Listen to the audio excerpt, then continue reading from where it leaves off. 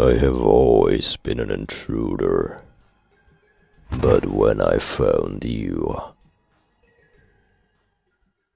I felt like a guest.